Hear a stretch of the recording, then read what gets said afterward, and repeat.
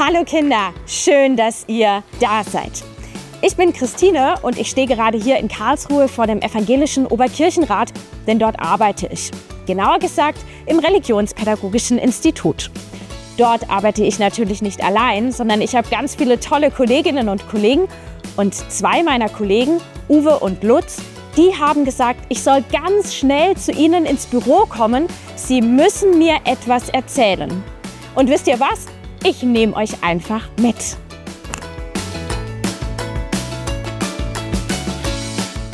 Hallo Uwe, hallo Lutz. Ihr wolltet mich sprechen? Hallo Christine. Was gibt's? Hallo Lutz, schön dich zu sehen. Hallo Christine. Du, wir hatten eine ganz tolle Idee, der Uwe und ich. Wir dachten, wir schicken die Kinder in diesem Jahr auf Spurensuche. Mir ist aufgefallen, manchmal im Freibad, wenn ich aus dem Wasser komme, dann sind da Spuren von mir zu sehen und es gibt doch noch viel mehr Spuren zu entdecken. Ja, wir dachten, wir setzen die Kinder auf Gottes Spuren. Und da gibt es bestimmt eine Menge zu entdecken. Und dazu haben wir was vorbereitet. Da gibt es so eine Kiste, da können die Kinder dann ihren Namen reinschreiben. Und wir haben auch noch eine Lupe vorbereitet, mit der die Kinder die Spuren Gottes in ihrem Alltag entdecken und vergrößern können. Und wir haben dazu auch sowas wie ein Spurenprotokoll.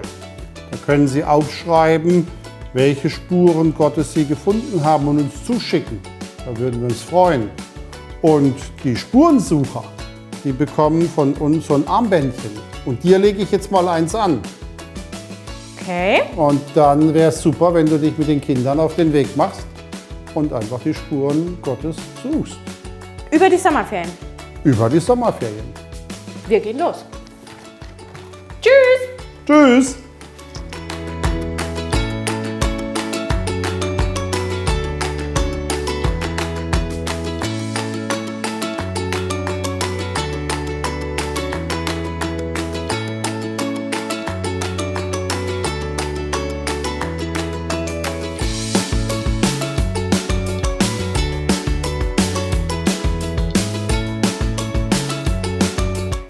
Frau Springhardt, Ja, darf hallo. ich Sie kurz stören?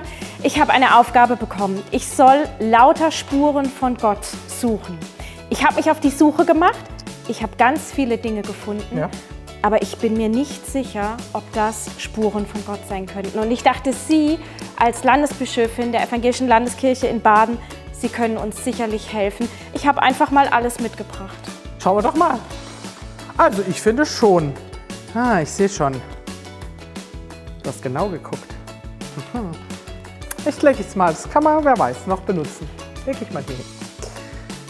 Also, ich finde schon, dass es nach Spuren aussieht.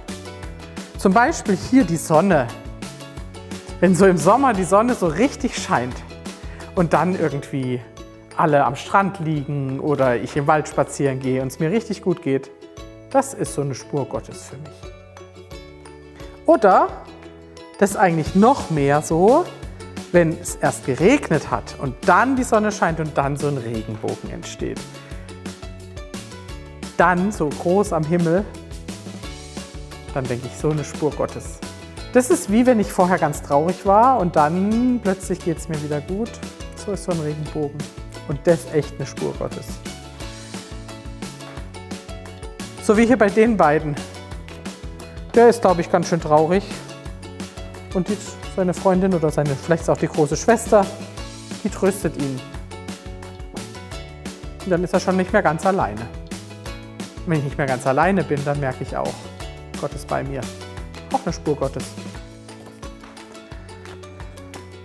Und das finde ich ziemlich klar eine Spur Gottes, so ein Herz.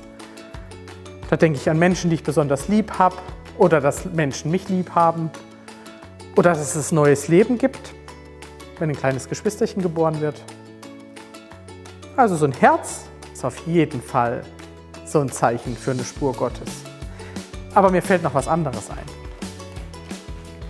Hier in der Bibel stehen ganz viele Geschichten drin.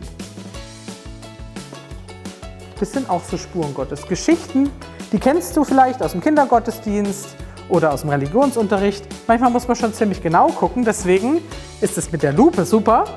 Die können wir mal hier auch als Buchzeichen verwenden. Und dann in diesen Geschichten, da erinnere ich mich manchmal dran, da ist eine Spur Gottes.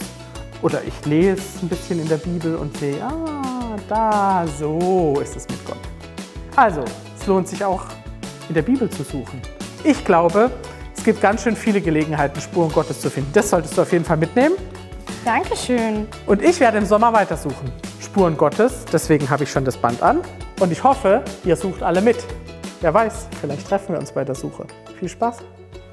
Das ist eine ganz schön knifflige Aufgabe, die wir da bekommen haben. Aber ich bin mir sicher, dass wir sie gemeinsam lösen werden. Und jetzt wünsche ich euch ganz viel Erfolg bei der Spurensuche und vor allem ganz viel Spaß. Habt einen schönen Sommer, bleibt behütet. Wir freuen uns auf eure gefundenen Spuren im Herbst. Tschüss!